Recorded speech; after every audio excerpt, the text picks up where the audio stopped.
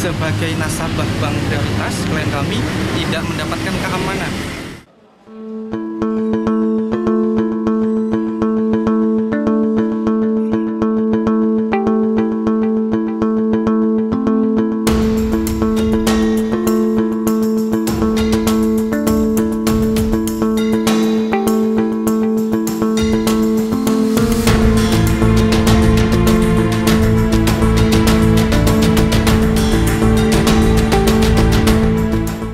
Pada laporan polisi di hari ini, klien kami sudah melakukan beberapa upaya.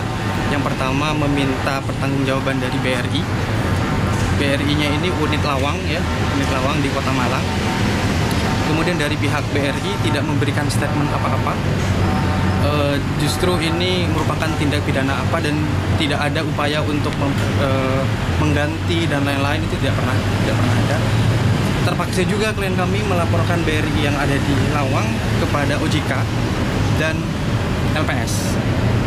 laporannya apa? Laporannya kalau yang ke, ke, ke OJK, yang ke mana ini Pak?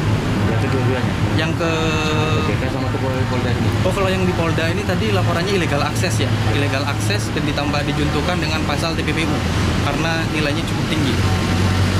Seperti itu.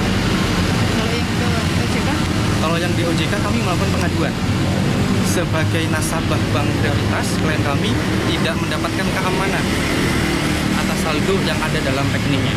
Itu.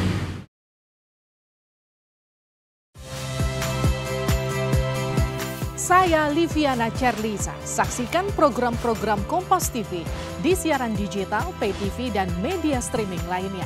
Kompas TV, independen, terpercaya.